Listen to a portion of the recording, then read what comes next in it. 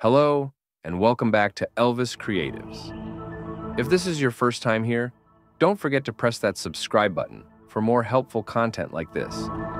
In this video, I'll guide you through resolving the License Manager error, minus 8, that sometimes appears when launching MATLAB 2024B. If you've encountered this error, stay tuned and we'll fix it together. Step 1. Locate and copy the .del file. To start, go to the folder where you first extracted your original downloaded files. Inside this folder, look for the .dll file specified in the video. If you haven't watched my MATLAB 2024B installation tutorial, I recommend checking it out so you're fully set up for this fix.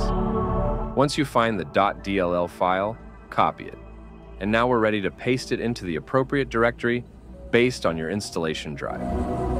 Step 2. Navigate to the correct installation directory. If you installed MATLAB on Drive C, navigate to Program Files, then to MATLAB R 2024B. Since I installed mine on Drive D, I'll be working from that location. Now, I'll go to Drive D, Program Files, MATLAB R 2024B, and look for a folder named bin.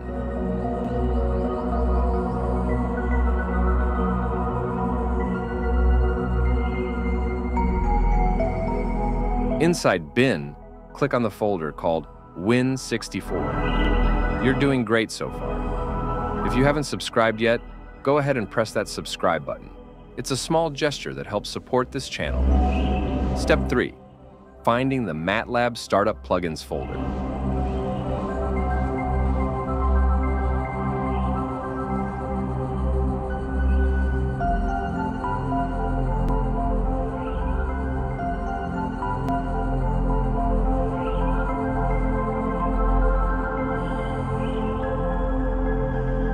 Next, scroll to locate a folder called MATLAB Startup Plugins.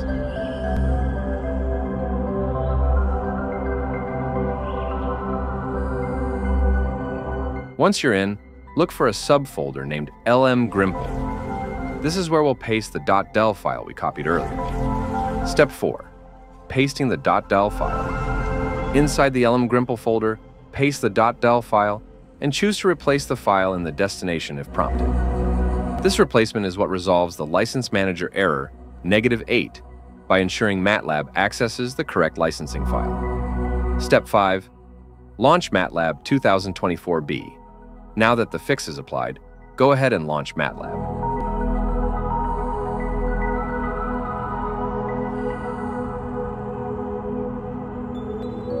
You should no longer encounter the error, and MATLAB should start smoothly. Thank you for tuning in. If this video helped you, please consider supporting the channel. Subscribe, share this video, or even buy me a coffee through PayPal at elviscreatives at gmail.com to help keep this content coming. Got any questions? Drop them in the comments below, and I'll respond as soon as possible. Thanks for watching, and see you in the next video.